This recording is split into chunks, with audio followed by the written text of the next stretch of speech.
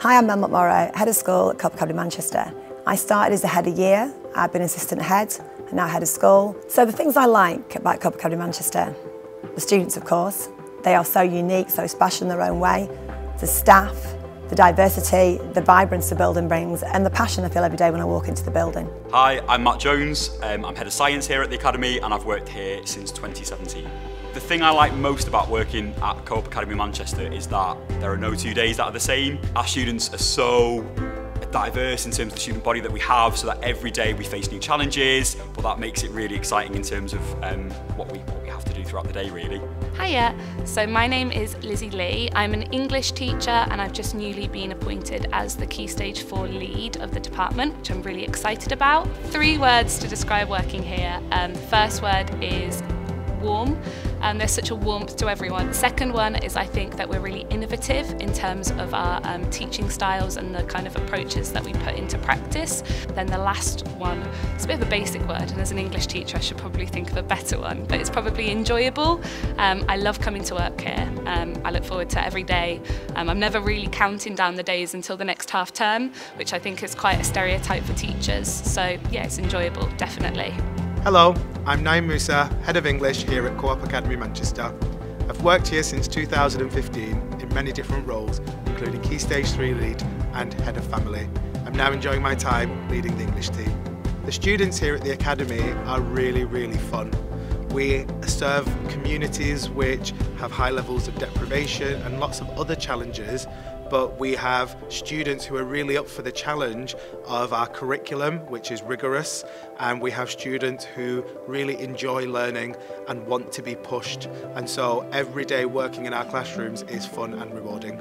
Hi, I'm Raquel Chamel. I'm an MFL teacher. I teach Spanish and French. I'm in my first year, so I'm in ECT. The MFL department is really, really supportive, literally since my first training year, since the moment I stepped foot in the school. Everyone in the, department has been so, so supportive. I'm incredibly proud to, uh, to be part of such a fantastic science department.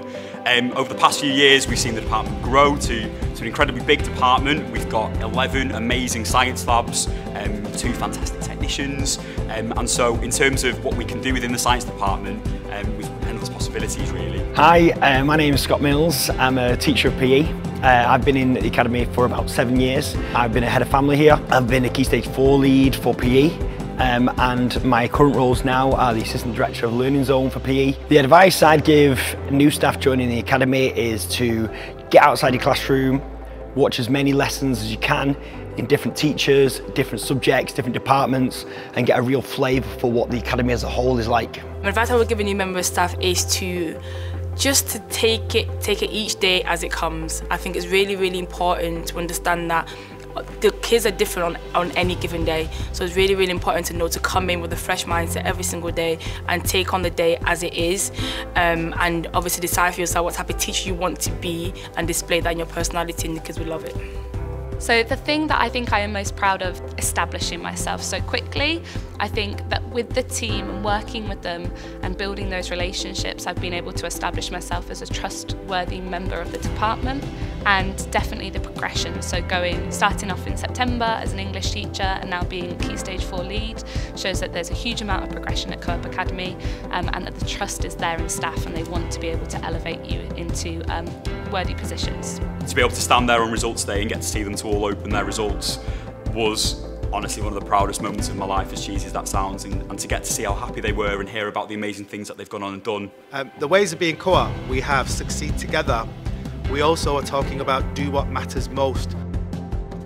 Talk to our students about being themselves under the Be Yourself Always banner. And the final one is about showing you care You feel like you are part of a community when you come to work um, and everyone's really invested in how you are and everyone's really kind of on it in terms of asking if you need any help with a specific class or student. So I think that that is something that makes me really enjoy working at the Co-op Academy. I think being part of Co-op is about, I think it's family, I think it's really, really important and I feel that as well, not just in my department but across the school. We learn together, we work together, we go every day together our results have soared. Teachers teach amazing lessons and students learn something new every day.